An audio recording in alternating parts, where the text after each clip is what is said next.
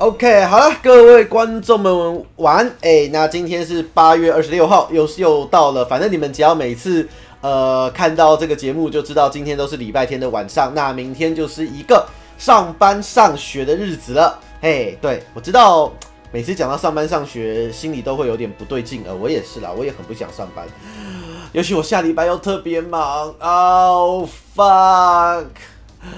啊，下礼拜又特别忙，我好生气，我不想上班，我也不想上班了啊！给我钱，老板给我钱，我不要上班，好吧？反正嗯，下礼拜我特别忙。嗯，哦哦，看我都把录到打哈欠了。嗯，好吧，那呃，等等，我想想看哦，上学，嗯，开学了没有啊？呃，大学应该是还没开学吧？大学应该是九月才开学。呃，所以现在八月二十六，应该也还没开学吧？八月二十六，开学了吗？开学了吗？嗯，开学了吗？呃，问一下大家好了，八月二十六开学，顺便拿个水。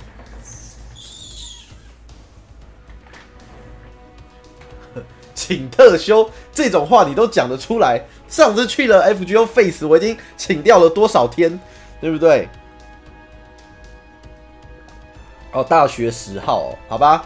那一般一般中学生开学呢？哦，小学八月二十九。好，各位记压，那麻烦一下那位观众记压一下。对，小学八月二十九。OK，好。嗯，不对啊，那八月二十九是平日嘞。哦啊，所以八月二十九号是礼拜三开学哦，奇怪，不是礼拜一开学。嗯，大学九月十，所以一般是八月三、八月二十九。嗯，好啦，反正开学也没什么不好啦，说实在话。开学就是比较比较有趣的日子吧，比较新的日子。就我觉得开学也没什么不好啊，就是就是过新生活啊，也很有趣啊。我觉得很有趣啊。啊，有人说知道今天是什么日子吗？今天八月二十六啊，八月二十六号什么日子吗？八月二十六，没什么特别日子吧？我至少至少至少呃。就我所知，八月二十六应该也没有什么特别日子吧？哦，好吧，那，哎，我跟你讲啦，开学也没有也不用那么难过了。我这真的啦，开学，开学也是一件很开心的事情啊！真的，真的，真的，开学有时候真的是真的是过不同的日子。嗯，好吧，那今天来讲的话，好，那今天接下来我们会。呃，前半去年推广伊利亚闹钟的日子是吗？好吧，我完全没有记得这件事情。对，好啦，我真的不记得这件事情。那今天的话，我们就应该会稍微聊一下终章啦。那一样，等一下聊终章的部分，如果还没有打完的人，那可能也麻烦大家稍微避开一下下。对，这个没有办法，因为。对，等下真的会稍微聊一下终章的部分，那会有一点捏他。那如果真的还没有打完的人，大家就自己注意一下，好不好？会聊一下下，然后再来可能稍微提一下现在这个新年的 PU 卡池跟新年的 PU 活动。讲再下来就是接着的 FGO 一段时间内，大概差不多一个月多一点时间，大概都是复刻活动，不会有什么新的东西。嘿，不会有什么新的东西，所以我也可能讲一下接下来大概会有一些什么事情。那新的活动大概什么时候会上？可能给大家做一个简单的心理准备，那让大家的石头也稍微做一下心理准备。那最后的部分，我可能会稍微聊一下，嗯，日版的泳装活动吧，因为日版的泳装这一次我觉得算还蛮，呃，算还蛮有诚意的，嗯，算还蛮有诚意，算很有趣。OK，好吧。那就先来看一下吧。好啦，先讲一下终章吧。那我相信大家终章应该好了。我自己这边其实还没有打完。好，我先讲我这边其实还没有打完。应该说，我是因为想配合一下简单的录影，所以呃，反正我都知道剧情的情况之下，所以这边其实我后面还没有把它打完。嗯，所以你会看我这边，嗯，好，还没有结束啊，超超废的，呵 呵超颓废的。对，那。呃，终章的话，我真的觉得，我相信你们打完的大家应该都会觉得是 FGO 第一部的，真的是一个最高潮的部分。我必须要讲啦，以至少到目前日版来讲，主线的部分还没有一个地方能够超越终章带给大家的感动。嗯，应该说，因为终章真的是从一到七这样一路上一路一路上这样累呃一路上这样累积下来的情绪，然后在终章一次爆发出来。那日版目前不好说，日版目前因为说真的也才到第二章节而已，所以后面还有好几个章节。但是我个人是觉得。到时候日版的第二部应该也不会太差，应该也还是有一定的一定的水准。嗯，然后我先讲啦，因为当时其实在中章之前，哈，第一部的中章之前，大家都有在猜，呃，罗曼的部分。那罗曼的其实最早最早最早第五章第一次，哎，是第四章吧？呃，第四章。第一次所罗门王出现的时候，其实就有人注意到他有一根戒指的颜色不一样。有，当时就有人发现到这件事情，然后也有人发现到说，医生他有一段的剧情是马马修在说，哎，医生是不是结婚了啊？因为我在厕所看到他的那个的那个什么，就是有看到他有戒指，就是脱手套的部分。那其实我们那时候都很想吐槽说，那个 学妹，你到底为什么会看到那个？医生在厕厕所里面没有真的没有问题吗？好啦，我知道他可能是走过去，可是走过去你要看到男生的这种就是那个那个距离的那个那个位位位置，就是那那么那么全的位置，要看到那个戒指，我觉得也是有难度了。哎，有有有有这一段剧情，可是我忘记是在哪一哪一段了。你们要看是哪一段？就是他说他在洗手的时候有看到那个。有看到那个医生的戒指，洗手台外面哦，好像也也可以解释啦，也可以解，但是这个你要详细问我说是在哪里，我忘记了。对，但是是有是有这一段剧情的。洗手台在外面哦，那就厨房了吧？那就厨房了吧？男女共用的男女共用的厕所。好，我明天搬去加勒底，我明天搬去加勒底，气死！男女共用的男女共用的厕所，我还不好。对，然后所以其实当时很早很早就。呃，日版那边其实就已经在推断说，医生才是真正的所罗门，或者是医生是魔王。应该说，当时呃，在日版的情况来讲，最多最多推论的是医生是最后的大 boss。真的，当时日版最多推论就是医生大 boss。那原本的就是所罗门王，就是他制造出来另外一个分身，还是怎么样的状况？结果。一直到最后才发现，哇，对不起，其实医生是好人。对，对，福尔摩斯也有说过不信任医生。呃，应该说福尔摩斯不信任医生其实算正常。呃，因为就是罗曼他藏了太多的秘密，他藏了太多的秘密起来，所以照福尔摩斯的思考模式，他会觉得说你藏了这么多东西，那福尔摩斯其实也一定有感觉到医生不太对劲。所以他会觉得医生是坏人，这个我觉得情有可原。反正这种东西就是你要猜嘛，大家大家都应该是猜往说往坏人的情况下去走。结果没有想到，好，医生真的是所罗门，这一点没有错，这一点是真的是对的。可是结果所罗门是瘦肉成为人类的状态，然后我们看到所罗门，结果是七十二魔神柱合起来的那个那个尸体，这应该也算尸体没错啦的盖提亚的部分。对，这一点就真的是，呃，这点其实就是我很我常常很喜欢讲的，就是在写小说的东西，就是比如说写小说啦，或者是写嗯，就是这种故事发展，就是所谓的情理之中，意料之内啊。所谓情理之中呢，就是当你看到这个结果，你就会觉得说，哎，回去推不意外。可是意料之外，就是你会觉得说，啊，居然还有这种发展的方式。所以为什么真的是第一部？到最后会有这么精彩的发展，对，呃，应该说医生为大家为什么对医生印象不好？这个没有明确讲，这个情况下比较像是在讲说，嗯，应该是比较有点在讲，我觉得是有点故意在抹黑他啦，就是医大家对医生印象不好有几种可能。那第一个比较简单讲法就是其实有点剧情刻意导向，那也有一种说法就是说因为。呃，医生本身散发出的气息，因为他毕竟是从阴灵兽肉转生为人，所以其他的从者可能自然会有一种那种隔阂的状态，因为你不知道他实际上是个什么样的人，所以就会下意识的就会觉得说这个人不可信。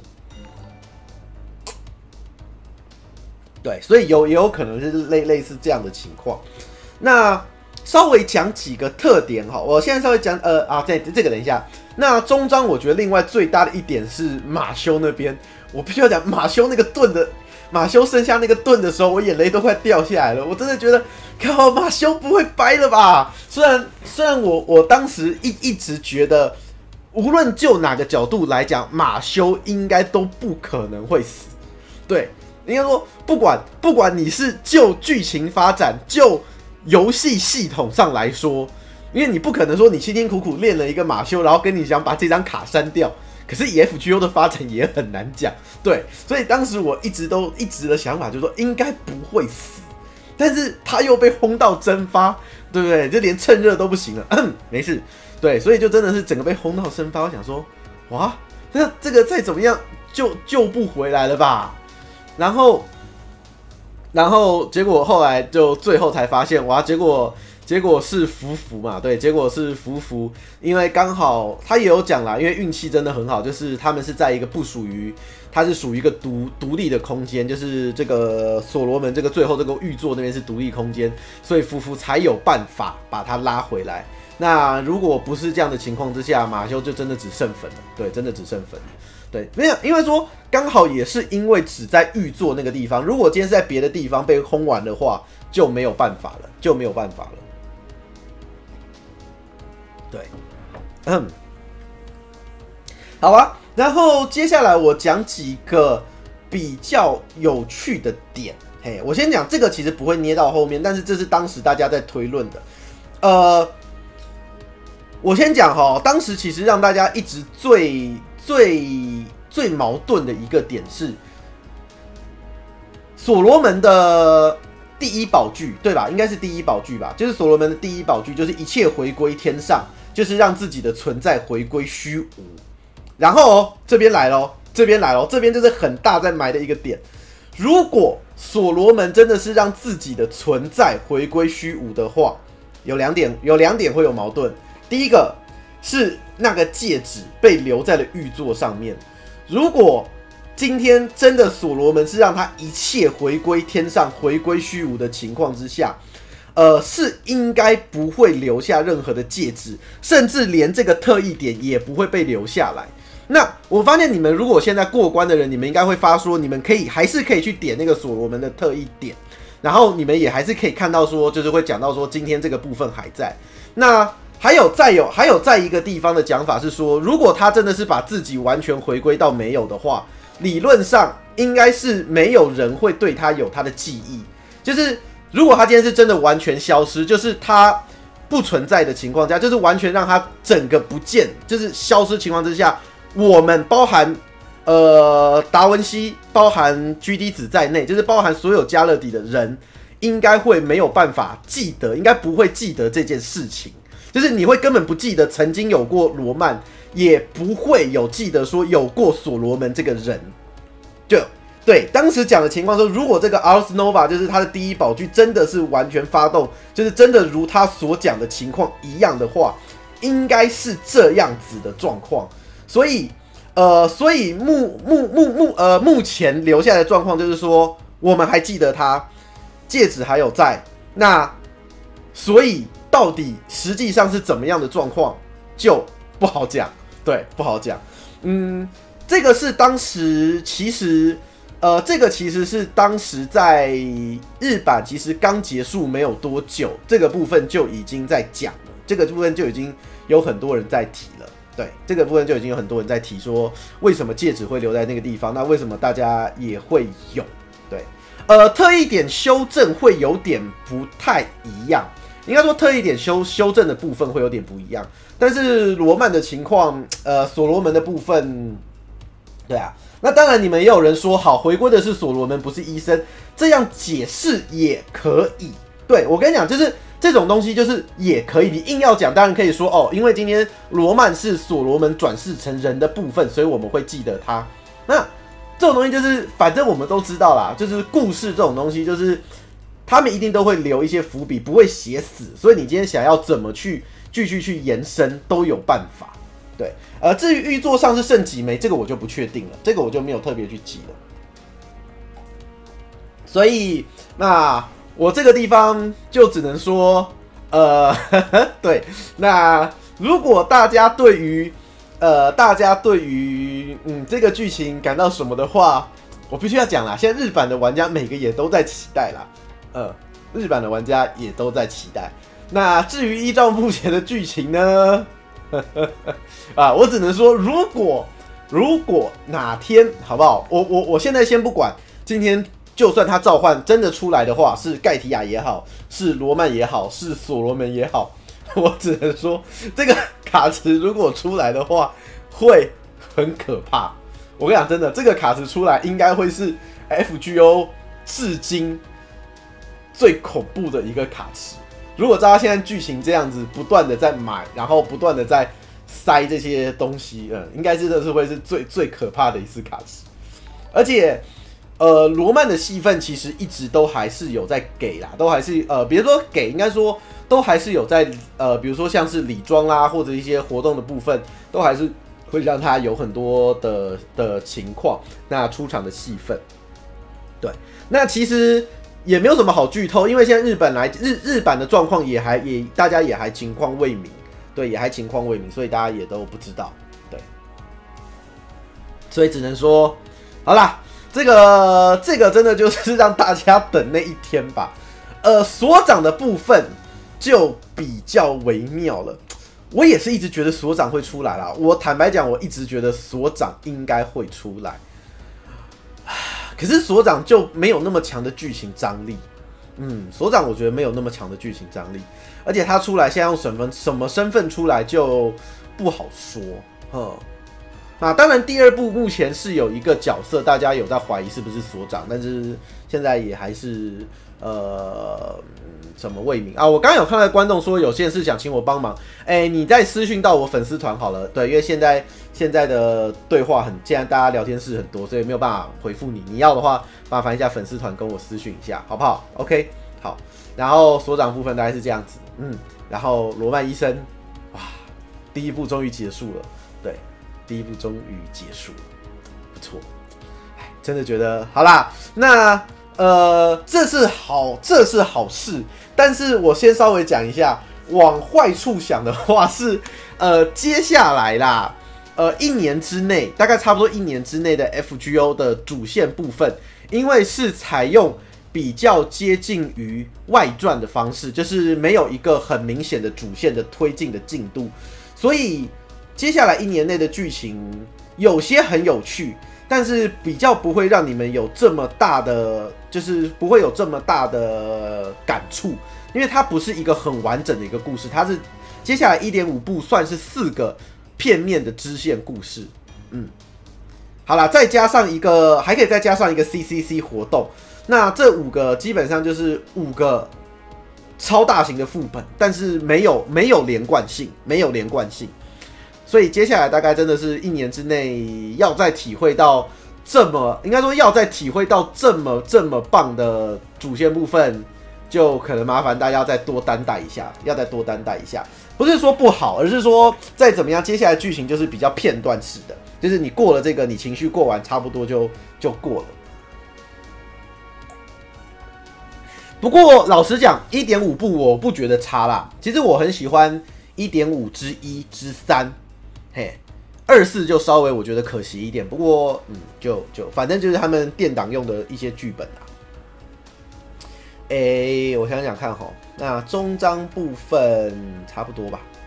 呃，一点五不是蘑菇写的，一点五我记得有呃东出，然后有那个星空吗？哎，是什么星什么的？然后有一个好像是樱井吧？呵，哎，有点忘了。啊，有点忘记，反正我记得四部是不同人写的，一点五的四个，四个都是不同人去写的。嗯，哎，好，那然后接下来，接下来中章的部分大概这样吧。应该中章应该大家没有没有没有没有没有什么问题了吧？看一下，偷看一下。聊天室终章，终章应该就差不多了吧？大家感动感动完了，哭的也该哭完了，然后想氪金的也氪完了，氪金之后又哭的也哭完了，那氪金之后后悔的也后悔完了。嗯，好，没问题。我讲终章应该差不多就就就这个样子了吧？嗯，好吧。然后接下来，接下来，嗯，来来来来来来看一下哦。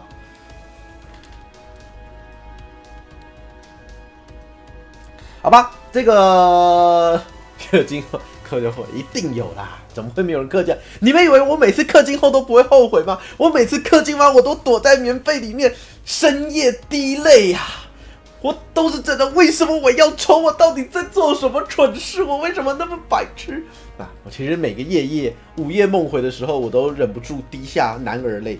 好，然后呢，呃，新年 PU 卡池的情况之下，诶，诶，我稍微讲一下吧，哈，新年 PU 卡池的状况，为什么我会说，如果你们要抽福袋的人，麻烦请等到九月三号之后再去抽，好不好？那。因为呃，九月三号是福袋结束的那一天下午。那万一你们刚好在这几天，假设你接下来好吗？假设你接下来说你想抽伊利亚，想抽征服王，抽两仪式，抽坂田金石，抽师将，抽伊斯塔，然后你不幸在九月三号之前，你刚好你好的，你福抽福袋复明，然后结果你又不小心在抽伊斯塔的时候跳出一只孔明，你绝对会干到飞天，你绝对会气死，你绝对会崩溃。所以为什么我会跟你们说，你们最好等到。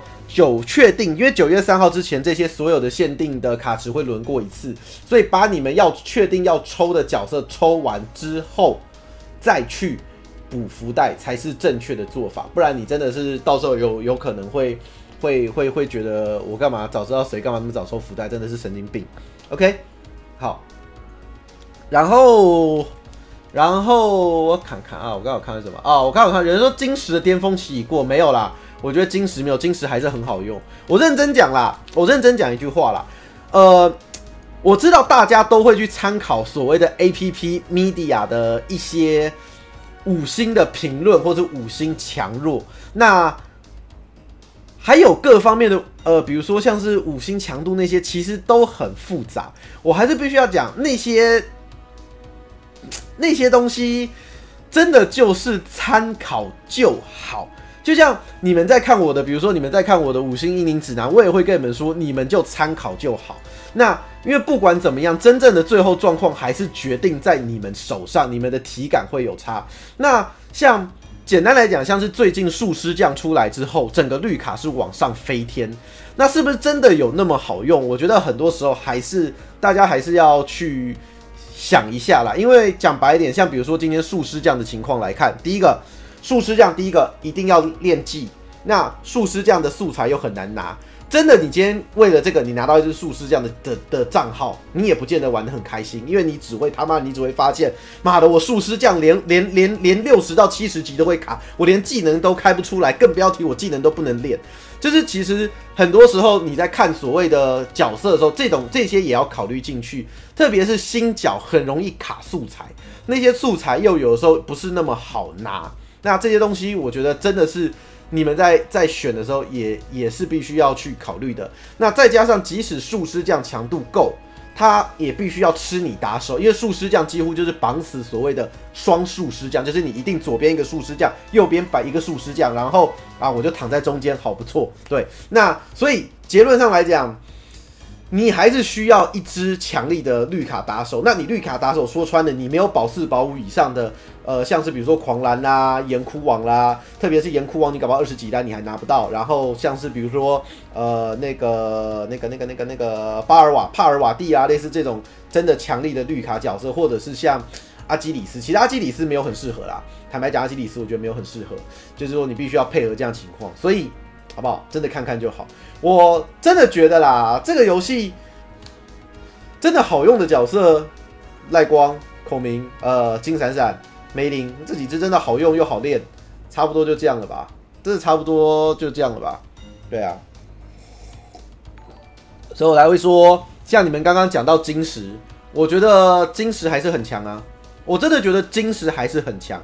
我跟你讲，我不说别的，金石光是自冲 NP 五十，直接可以配黑圣杯，然后一斧子劈下去，那个就很猛了，那个真的就很猛。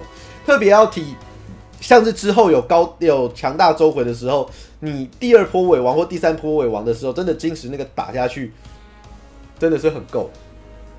那你不要提说，如果今天敌方第三波是三只摆在那个地方，你假设今天你没有高保赖光或者高保金闪，你搞不好射下去也射不死，不见得比较快。所以，嗯，可以，我觉得金石还是可以抽啦，金石真的是可以抽。对，不有人讲，对，这句话我喜欢。对，虽然它是玻璃大炮，它还是大炮。对，虽然它很玻璃，但是大炮打在你身上，你还是会死。嗯，还是会死，还是会死。好吧，那反正五仗结束了嘛，之后还有一次，然后机加美修就是现在，然后等一下晚上十二点过去之后就是两仪式，哎，两仪式之后好像还有一次机会，所以可以考虑一下。呃，两仪式哦，两仪式我反而是真的觉得胃强度没有什么必要抽，可是它的模组很精致，而且两仪式三套的衣服差距很大，嗯嗯，我会觉得两仪式。补图鉴来讲，抽起来还蛮不错的。嗯，他的衣服真的很漂亮。然后再来就是征服王，呃，征服王我记得应该是这次的时候保解吧。然后他有顺便调 NP 率，基本上征服王的火力非常非常的高。纯论呃纯论瞬间输出来讲，征服王是五星赖达里面就是群体赖达里面最痛的一个。那他的 NP 率后来也有偷偷被官方修改过。所以修改过后的 NP 率也很漂亮，再加上我记得征服王这一次出来之后，接下来就再也没有出来过了，应该是啦。我帮可能大家帮我确认一下，我印象是征服王这次出来之后，好像就再也没有了。呃，那日版目前为止都还没有复刻过，所以如果想要抽征服王的的话，那真的你们就只能看，只就是真的是这一次。对，应该就是这一次新年保解，对，然后顺便调 NP 率，对啊，就是它两两个是一一起一起同时进行的，所以我会觉得要抽征服王啊，不要等，不要等，就现在了，真的就现在了，你现在不抽，没有机会抽了，好不好？抽起来，氪起来，嗯，我绝对不是官方派来的打手，对，真的氪起来的，当然福袋不算啦，福袋这种东西。赌运气的东西不算的情况之下，所以我就说，真的要要要福袋的话，嗯，要就是要征服王，现在把它抽起来，不错，还是可以用的，还是蛮好用的。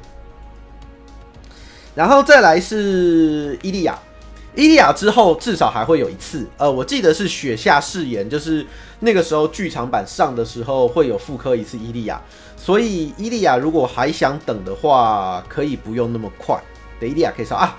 偷偷再工商一下我自己的影片，好了，没有夜配自己的影片。对，那上次之前我跟你们讲过那个白白的伊利亚之的那个 Vlog，我已经啊今天已经放到 YouTube 上去了，大家赶快去看啊，看看到底伊利亚伊利亚伊利亚之好不好喝？对，快看伊利亚之好不好喝？快去看。好，然后坂田金池就像我们刚刚讲的结论一样，结论一样，嗯，玻璃大炮，呃，玻璃大炮还是大炮，呃，所以还是很猛。然后师将的话，嗯，师将哦，师将严格讲起来，因为接下来一点五步之后会加入一个新系统，叫做 Break，就是对方的血量会变成多段性的。讲白点，就很像他会锁血啦。比如说你现在先把他血条打到这个样子。然后他一定，你没有把他一发打死，他还会再补满一次，你再打一次。所以是这样的情况的话，就是他会他最擅长的领域就是一发射死对方，会稍微变得比较弱势一点。但其实也没关系啊，你就带个宝石翁涂满的开场先射一枪，然后再让两只孔明上来再补满，又可以射一枪。所以。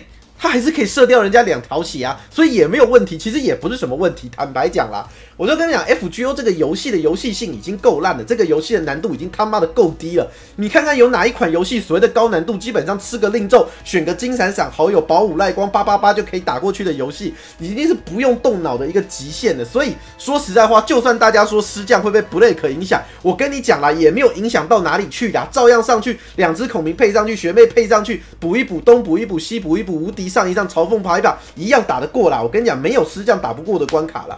我跟你讲，这是很现实的状况，所以我就必须要跟你讲说，真的不要有的时候真的不要被一些很多的情况被，也不能说被误导，就是不要被过度影响。就是大家跟你讲说，好像什么一发一发男，什么一发女，然后到后来就不能用。我跟你讲，真的没有没有这回事情，没有这回事情。就跟你讲，FGO 这个游戏难度低到一只 BOSS 就可以靠一个好友血成必出把他打死的情况之下，你们真的觉得这个游戏的难度有那么高吗？你们现在玩到现在，FGO 这个游戏哦，最麻烦的情况之下，九成就是在怎么样快速周回啦。真的在怎么样快速周回，除此之外，真的没了。真的其他情况之下，真的都简单很多，真的就简单很多。好吧，反正反正结论上来讲，就是说，真的不需要被大家说什么 Blake 系统出来施降就没用啦，什么 Blake 系统出来啊，金石就没用啦，别傻了，还是很多。我跟你讲，还是很有用，还是很有用的，真的。OK，好吧，然后再来就是伊斯塔。那伊斯塔反正一天到晚在在 PU 啦，我也不知道为什么，大概他上辈子欠了很多钱吧。我们也知道，可能伊斯塔的家计是。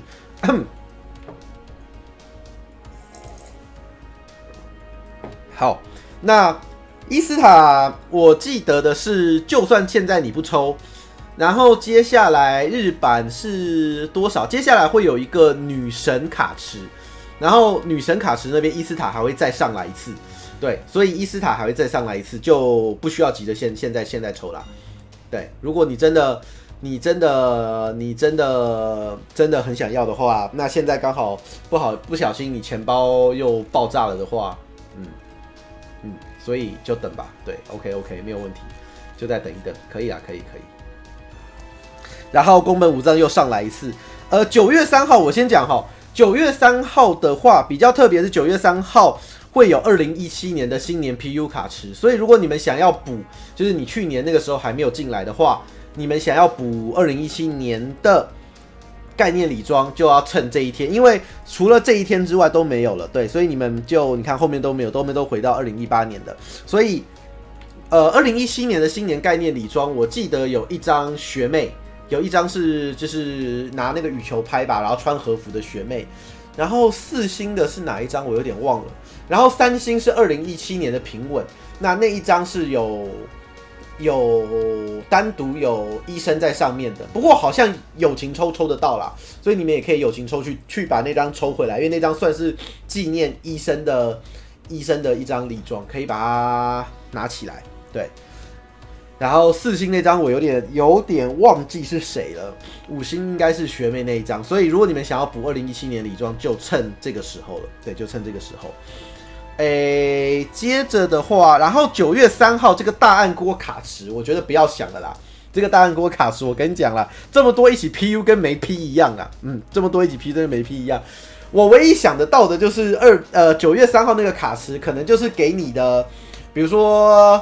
你有什么石头账号之类的，啊然后在那天可以一口气抽到好多角角色之类，类似这样子。不然我就觉得，呃，二零一七年呃九月三号那个卡池实在是正常正常脑袋正常的人应该不会想去抽那个池啦。嗯，脑袋正常应该不会想去抽。然后后面四个，呃，我相信大家一定会觉得后面四个很奇怪，就是为什么？为什么又会轮一次宫本武藏、姬家美修两仪式跟征服王的卡池？对我相信大家，嗯，哦，没事，就是我相信大家一定会觉得很奇怪，说，哎，为什么明明就轮了？因为照理来讲，应该是最后一次宫本武藏九月四号结束就结束了，就应该不会怎么会再会再会再轮一次。呃，这个部分是当时因为日版，我有点忘记是就是好像是那个那个叫什么？呃，氪金有问题。如果印象没错，就是两年前的新年那个时候，日版在氪金有 bug，然后就是很多人会氪不到金。那刚好那是前三天出现的一个问题，所以后来他就特地把就是有出问题的那三天，然后就是再把它延长。对我，对，就是主要主要当当时是这样这样的状况。对，所以为什么你会发现后面后面会多多三天的状况是这个样子？对，因为它真的是，呃，真的真真的是因为真的是因为氪金出问题，对，所以他们才延长给你，对，延长氪金下，反正他延长他也是赚的，你傻了吗？他延长他也是赚的，他不怕你不氪，只怕你氪不够多啊！啊，对，这是当当时的状况。呃，我看有一个观众说全部都没有随便谁都好，这是大砸锅，不对啊！如果你全部都没有随便谁都好，你把石头留起来吧，我觉得你把石头留起来比较比较实际一点。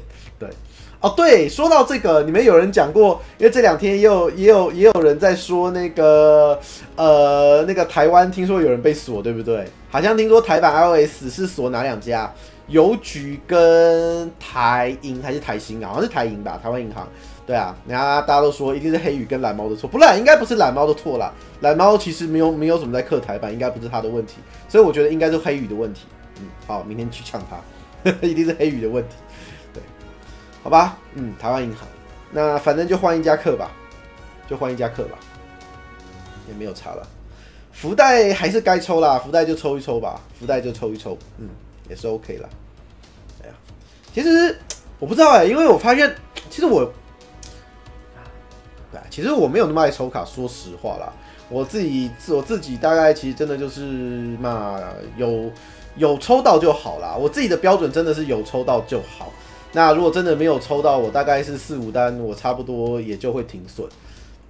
对啊，我我是没有很爱抽卡啦，对，因为之前那之前我还收到有有观众跟我说，爹啊，你要不要多抽一点啊？对不对？你再多抽一点啊，要抽个五丈尺啊，我超想回他一句干。你都不给我钱，我来抽啊，气死！对啊，我是觉得，我是觉得真的就还 OK 了。我没有很爱抽啊，我认真讲，我认真讲，我没有很爱抽卡。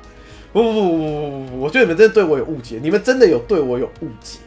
我除了赖光，我说真的，我从头到尾除了赖光，我想要抽宝五之外，我真的没有特意说哪一次想要把它抽高宝，或是怎么样要去抽。这个这个这个我必须要讲，真的是真的是认真。我我大概好了，我的问题其实大概就是每一个卡池，我大概都会丢个一两单凑一下热闹，或者是呃体验一下。但是 B B 我也才抽三单呢，不是坦坦白讲，坦白讲 B B 我也就抽三单而已呀。好了，我知道你们有有些情况可能会觉得三单很多，但是我觉得啦，比较之下，比较之下，你不觉得我抽个 B B 三单好像也很合理吧？是吧？然后好了，我今年真的抽比较大的，大概就是黑松田的啦。黑松田的时候其实是抽到有点赌气啊，黑松田是有点抽到赌气，所以我觉得我现在有点后悔啊。黑松黑松田我是我是有一点点后悔。然后雷帝是真的，我也我也我也我也抽了不少，也没有抽到，所以我最后我最后我最后就停了，我最后就停了，哎，就，还好了。三单哦，三单很多啊！完了完了，我们价值观已经崩坏了，踩了踩了踩了，价值观崩坏。三单有没有很多？看，我觉得微妙哎，三单到底多不多？呀，三单到底多不多？可是，可是我要讲啦，呃。那好了，这这句话我先我先讲一下好了，就像我之前讲的一样，因为我我我这边稍微提一下，就是我先讲哦，这件事是不好的，但是你们不要学习，也不要去想，呃，因为我先讲，我很喜欢赌博，我我算蛮喜欢赌博的，所以基本上像我自己以前，比如说去所谓的拉斯维加斯，或者去像我之前去去拉斯维加斯，那我自己像我去玩的话，我一个晚上差不多。我自己给自己就是赌博的上限啦，就是一个晚上的上限大概就差不多是两三百美金，其实差不多就是三单多了，三到四单，所以呃，所以基本上我这边至少我会觉得说，嗯，就还 OK，就是如果以作为赌博的娱乐性消费来讲，我觉得这是可以接受接受的啦，就是因为本来就是因为刚这样讲好，我这样讲好了，就是可能我的目标不是为了要。赌到或者抽到，我的状况应该是要娱乐。对，我的状况是要娱乐，我就是娱乐费，你懂吗？就是输光就输光，好了，输光我也会靠背，我会一面赌说，干你娘，为什么？为什么？为什么这个牌？为什么？为什么我好不容易 split 之后，然后对方二十一点，对不对？我好不容易 double 的时候，然后就爆牌，我明明就是一跟九，然后我 double 为什么会给我一张二啊？就是会有会有会有这种状况，对，所以。赌博会不会回本？我觉得要看，赌博要不会不会回本？我觉得要看，要看你是不是真的想去认真玩，还是你是想去娱乐的。呃，我必须要讲，赌博你想要认真玩很累，你就真的玩起来不会很轻松啦。嗯，那那如果你只是要娱乐的话，其实就很简单。那不过现在严格来讲，你真的如果呃赌场想赚钱的话，一般还是去打 poker 吧，就是打 Texas Hold'em。我觉得 Texas Hold'em 因为没有庄家的情况之下，呃，不管你是打 tournament 还是打 cash 的，算了，cash 我打打不起，cash 太太贵了，cash 我打不起，所以我建议做真的要打去打 tournament 的，呃，打个前几名其实就可以了啦。像我之前有打到第三名过。好像奖金就有四五百美金吧，对，奖金就就四五百美金，不过也没有多少，说实话，你亏亏还是就就之后就回去了，对啊，又可以试试看，好吧，那反正新年皮肤卡时大概就这个样子，然后大家就自己抓抓时间吧，然后后续的复刻活动哈，那稍微讲一下，因为接下来我先讲接下来的状况是。都是在于比较多，都是在妇科的部分。那接下来这个部分结束之后，就像我之前讲的一样，大概这个礼拜，因为礼拜，如果我们把礼拜天当做是第一天的话，就是这个礼拜尾，也就是差不多，比如说八月底或者九月初，那那个谁，山翁应该就会出来了。那会不会是快一点？可能九月一嘛，就我讲一下。那慢一点，可能九月三、九月四，那基本上山翁就会出来。那山翁出来完了之后。差不多在一个礼拜，大概九月三九月七、九月八吧，或者再往后一点点，那应该会有月神复刻，对，会有月神复刻。那月神复刻完了之后，又会接上监狱塔复刻，那你又有伯爵可以抽了。然后监狱塔复刻完了之后，我记得差不多再过一阵子，差不多十月，应该差不多十月初的时候会有情人节，对，就会有情人节。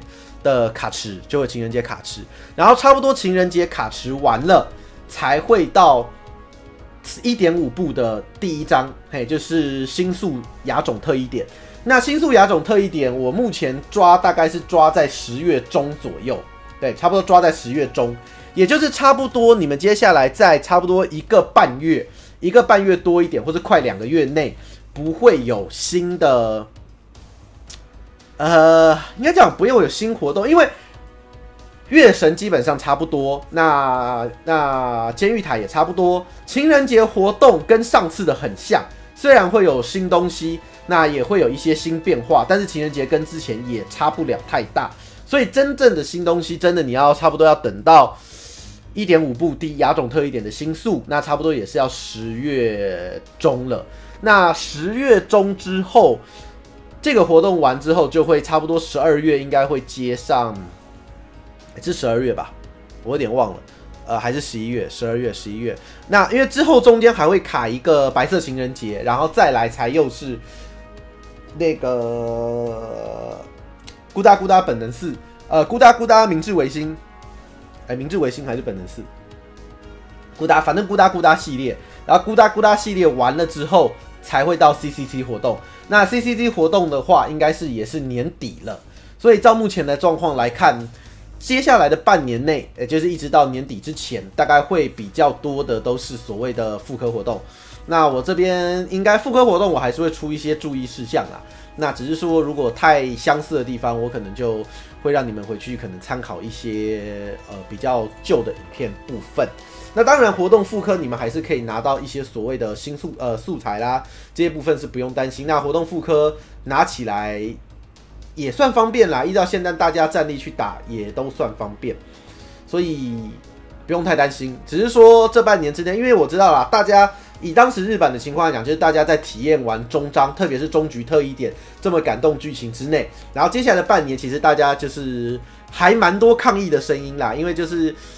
比较多在妇科活动，那长草时间也比较多，大家就觉得说哦，好像都在拖时间，嗯，只是就跟大家讲一下，稍微 对，稍微这半年这几个月内要稍微忍耐一点点，对，稍微忍耐一点点，反正就存存钱吧。呃，接着的话，嗯，那接着差不多大概就这样吧，嗯，接下来差不多这样。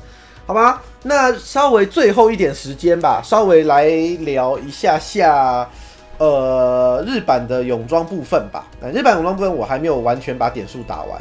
那啊，对，有人讲到日扩展期，因为其实当时 FGO 是一直预计一年就收掉的。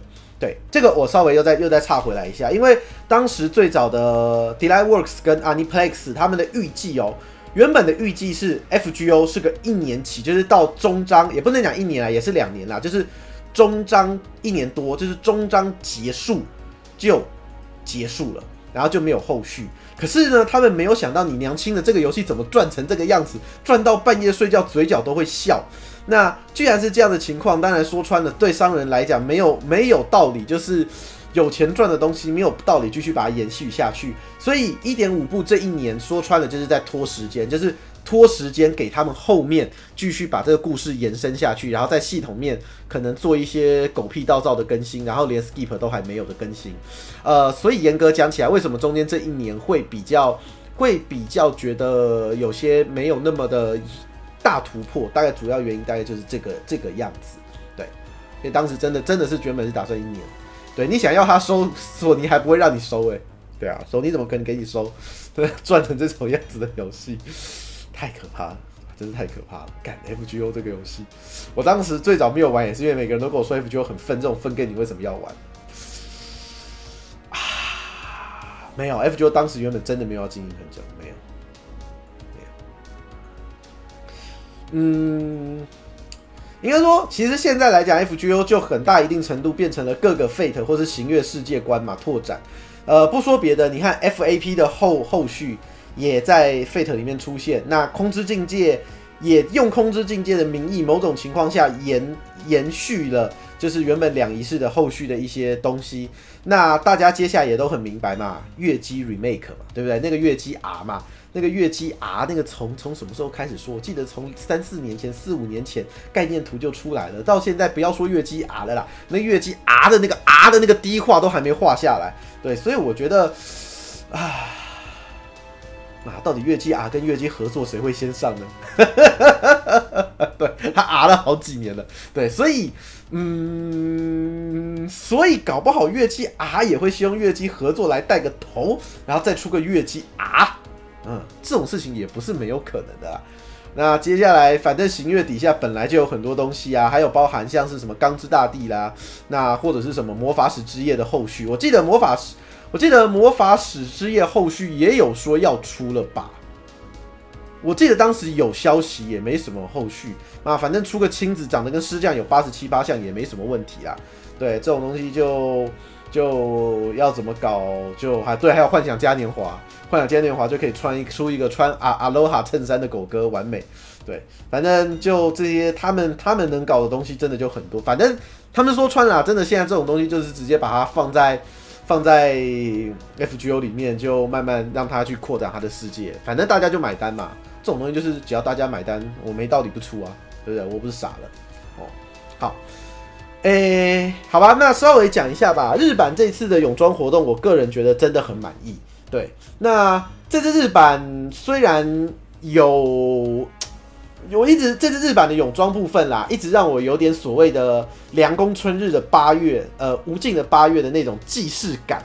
不过很有趣，而且光是这次日版的礼装，好吧，我这边可能稍微偷偷让大家看一下，其实也不用偷偷啦，也没什么好偷偷的，稍微等我一下哦。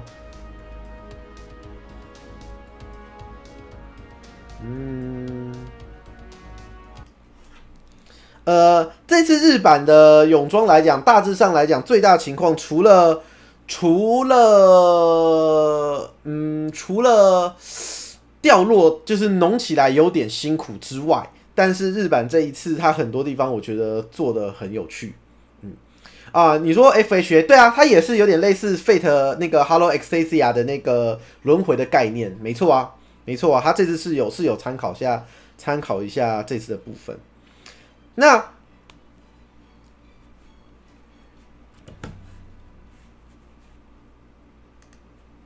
嗯，OK，对，这次的剧本是菊公菊公司写的，哎，听说是菊公司写的。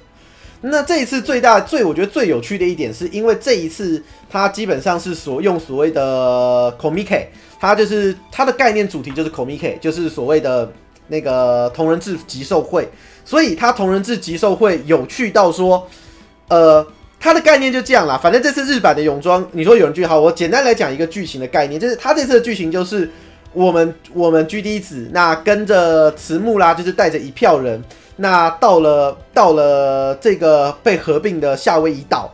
那这被合位的夏威夷岛呢？我们有一个目标，就是我们必须要拿到第一名，就是我们在同人志贩售会上一定要拿到第一名，得到圣杯，那才能够离开这个回圈。如果我们拿不到这个圣拿拿不到第一名，拿不到圣杯的情况之下，那我们就会不断的被送到这个这个这个这七天里面的第一天。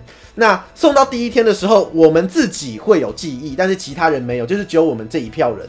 那这个事情是怎么造成的呢？基本上是跟 B B 有关，跟 B B 跟合在他身上的，呃的那个夏威夷女神芭蕾有关。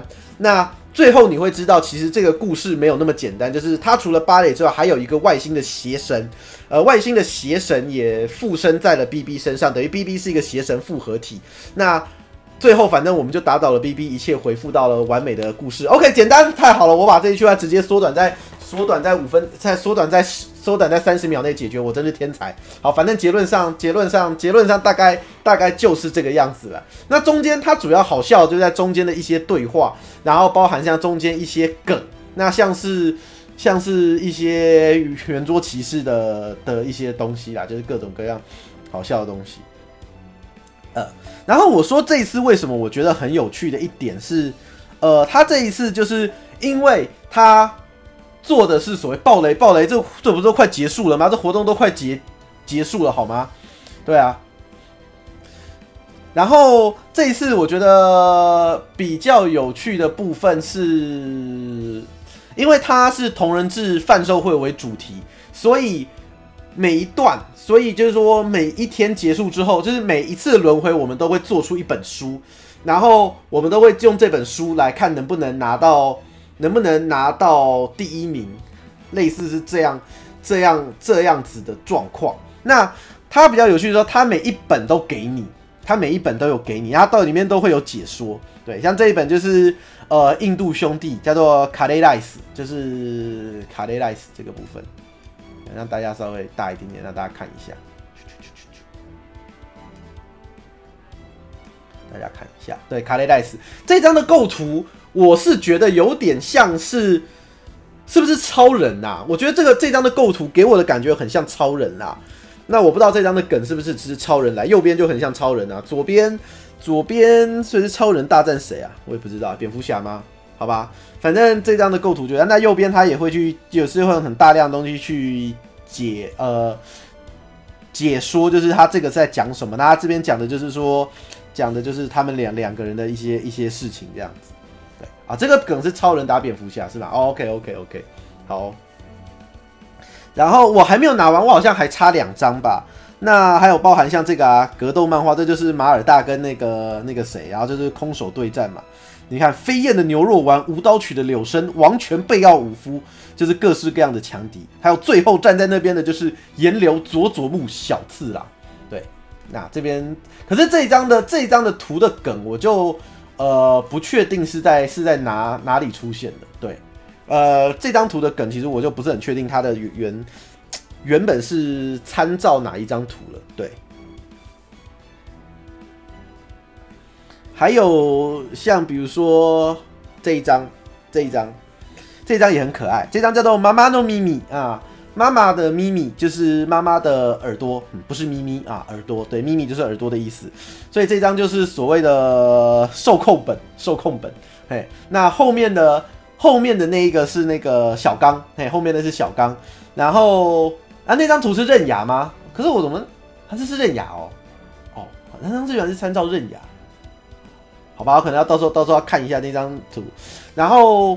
右边就是布迪卡嘛，左边马塔哈利，然后前面的就是杰克，后面就是小刚，对，现在很可爱。可是你看这边，其实他有讲哦，这边最后有一讲，Now 姆斯梅诺加克讲哇，他最后讲几只哇一塞盖尼，他说最后说他说前面那一只前面的那只杰克讲其实是异世界转移过来的人，然后从加勒底浪斗就加勒底乐园过来的时候，然后变成了猫咪族的女孩。对，这边这边他有讲，特别提到。那这个故事基本上就是兔子族跟狐狸族的两个妈妈，还有熊族的爸爸，还有那个猫咪族的女儿，这样一家温温馨的故事。干，气死我！我也想当爸爸，可恶！看到这两只兽，我还不好，没事啊，反正就是这样一个可爱剧本。然后其他的话，还有像是这个啊，嗯，这个就是这个就是恶搞那种，这个我不知道梗是哪里来的，是那种大小姐学校吧。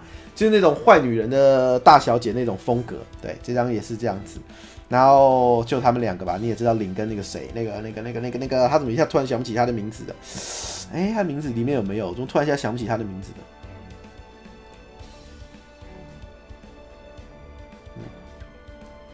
反正他就是那个女主角，就是那个右边那个，我突然想不起来啊，露维亚，对对对，露维亚，露维亚转身进了这个少女游戏里面，然后他就觉得这少女游戏，他就会活用他的摔摔跤技，然后要要逆逆转这个胜负，对，反正他就是转身到这个少女少女游戏里面，他这边就会有一些解说，然后其他还有像这个，这个啊，演剧魔人的梅兰哥啦，可是这个我就有点看不太懂，这个这是又搞什么东西？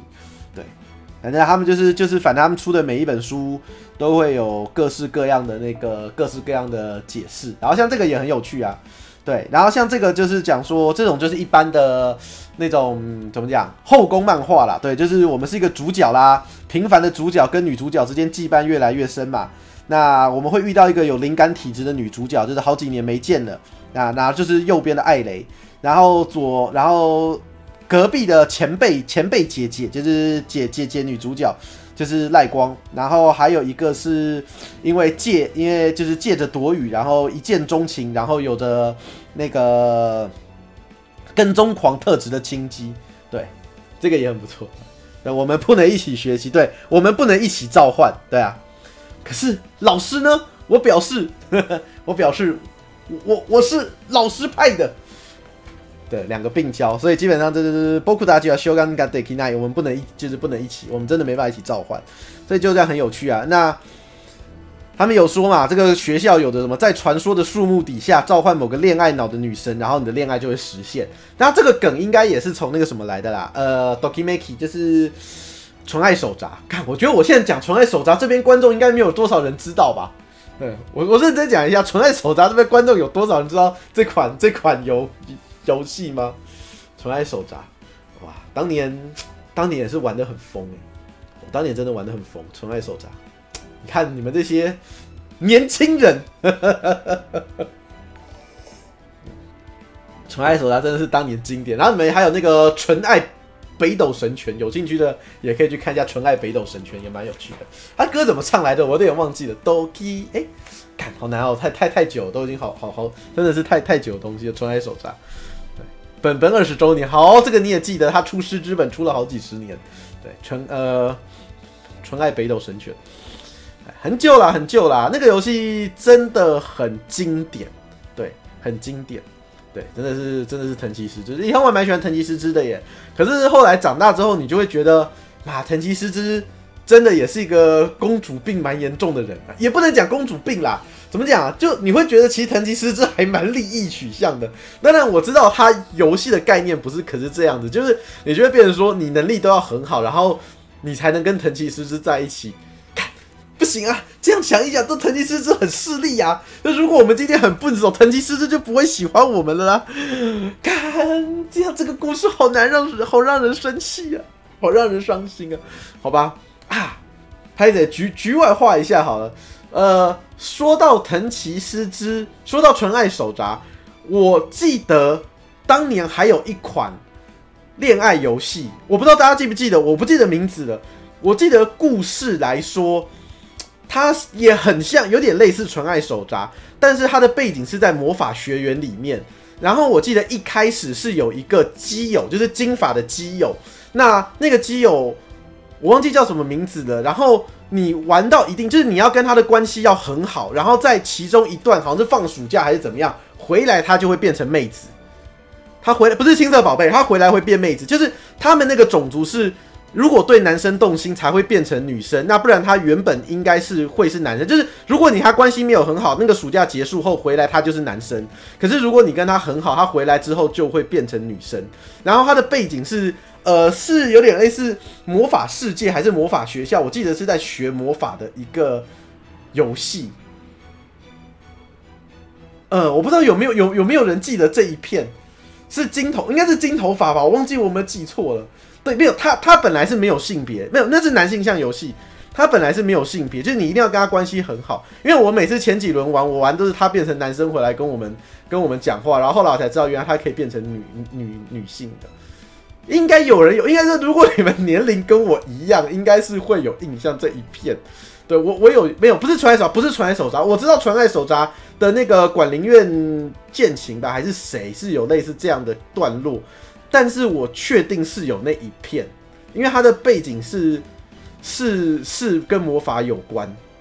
嗯，有人玩过，对，有应该有玩过。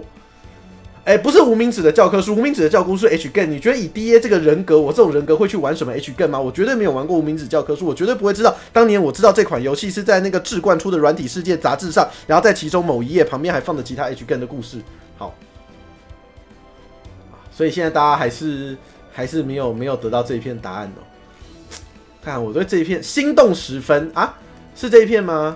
心动十分，我来查一下好了，我偷看一下。这件这个是我有有的时候会突然想起来这个很在意的一件事情。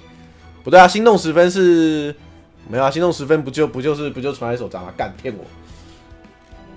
嗯，看一下，我看到底有没有人给我这个答案，我真的很好奇，我真的超级无敌好奇那一片的。那一片，后来没有想拿回来玩。有些游戏就是你长大之后会很想拿回来玩。一级哎，一级院好像是呢。一级院哎，对啊对啊，好像是一级院哦。好像是一级院哦。他那片叫什么名字啊？一级院，我看哎，我看到有人贴了很长串。啊，恋爱物语魔法学院，呃 n v e l u t i o n 需要流流来恋与魔法的学员生活。啊，对啦，看名字应该是这一片没有错，我看一下，啊，应该是吧？我我坦白讲，我也真的没有印象，好，好像是这一片恋爱魔法学，嗯，应该应该是这一片没有错。然后，呃，对，然后封面的那个。女主角就是我说的那个，就是男变女的那一个。呃，对对对对对对对对，没有错没有错，就是这一片。啊，干太好了太好了，好怀念，哪天找回来玩看看好了，好怀念哦。嗯，好怀念，好怀念，超怀念的。完了完了，我开始我开始老人了，惨了惨了惨了惨了。完了完了，我觉得这开始这是开开始老老人的特特征了。我找一下，我问你，忘记能不能找到当时女主角的？而且我记得她的时间带还跨蛮长的，她好像也是从小学一路玩到大吧？嗯，对啊，是这片没错啦。对啦，这片没错。嗯，是这片没错。看好，解开我心中的一个一个结。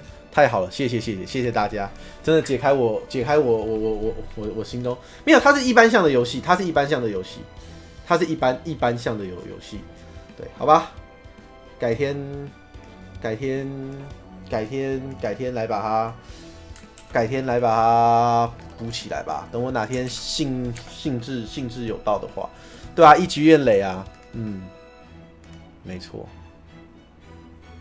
本来一局院是那个谁啦。那个他是那个宠爱手札的，他叫什么名字我就有点忘记，好吧，好，这不是重点，嗯，好，这不是重点，我刚突然突然突然不小心，一九九八年，哇，这么久以前，这么久以前，啊，好好好好好好久以前，一九九八年我几岁啊？一九九八年，不对呀，可是，一九九八年我也才十二十三岁啊，难道我十二十三岁的时候在做这种事情吗？等一下，我十二十三岁就在玩这种游戏吗？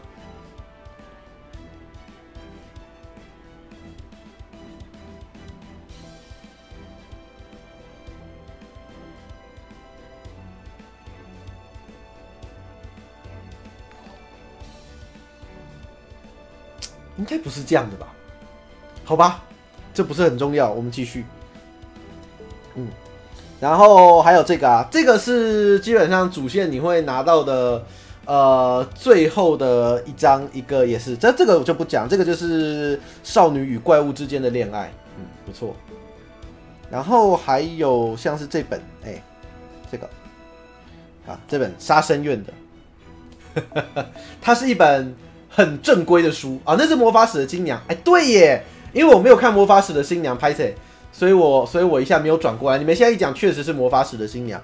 对，这本就是一本一本非常很普通的一本佛门啊，就是慢慢性生活的一本书。哎，这本就是一本慢性生活的书。那他只是在讲说他怎么样过了悠闲这个这个这个这个这个杀生院的一天，是一本是一本全年龄向的。OK 好。然后还有，哎，那本在哪里呀？啊还有像这个啊，机器人，而这张构图，这张构图是什么啊？我怎么觉得这张构图看起来也很眼熟啊？是塔利塔利吗？嗯，还是其实机器人作品很多都有这样的构构图，其实我也想不太起来。还是捷安特罗波？捷安特罗波也没几个人，这张构图我也不确定是。因为孔明这张孔明是捷安特罗波的那个横山光辉的十节集，对，那其他人应该有点像捷安特罗波吧，嗯，有点像捷安特罗波的感觉，对，反正大概大概就是这样。然后孔明就是恶搞横山光那个那个十阶级的那一只啊，然后其他还有的像是这个，那我们家的圆桌，嗯，我们家圆桌。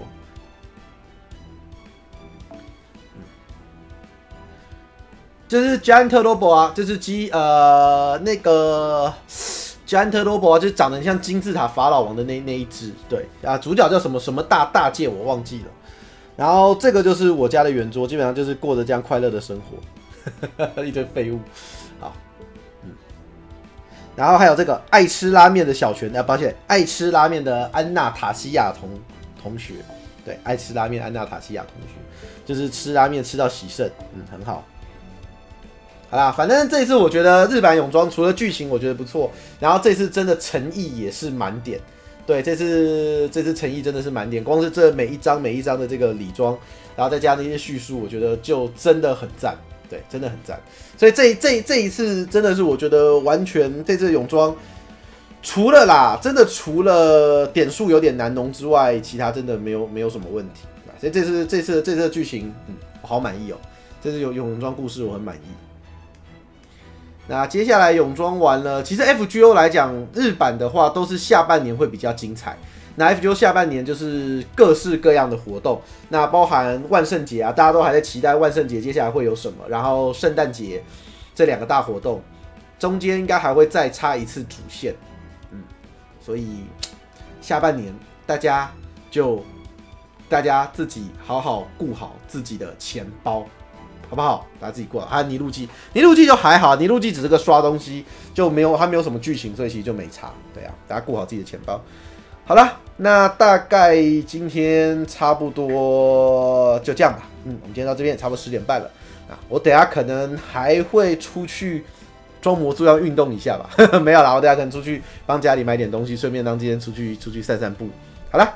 那今天就谢谢各位收看，那我们就到这个地方吧。那下礼拜如果真的还有什么许愿所或者怎么样的话，再联络我看看看有没有时间吧。好，各位就晚安了，拜拜。